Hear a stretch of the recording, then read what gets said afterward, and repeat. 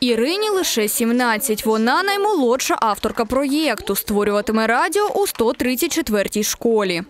До нашої школи приїжджає багато цікавих людей, іностранці, волонтери, воїни АТО, люди з патрульної поліції та багато інших.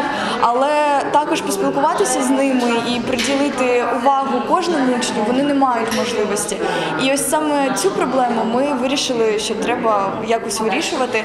Найбільше містян підтримали проєкт STEM. За нього віддали понад 5 тисяч голосів. Його авторка прагне створити комп'ютерний клас у школі номер 136. Нам хочется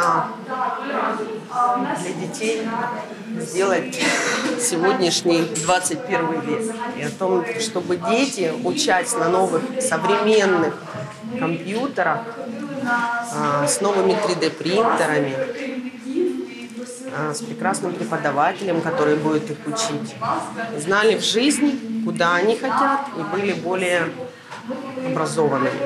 Цього року проєкт бюджет участі б'є рекорди. 282 автори запропонували понад пів тисячі проєктів. Бюджет участия – это классная вещь, и у нас было много зрады, говорили, что его отменят.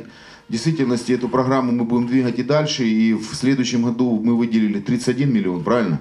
31 миллион на всю эту историю, и я думаю, что если успешно будет продвигаться, а уверен, что будет успешно продвигаться эта история, наверное, еще добавим. На реалізацію проєктів переможці отримали від 90 тисяч гривень до майже мільйона. Олександра Філь, Костянтин Кесар, Open News, телеканал відкритий.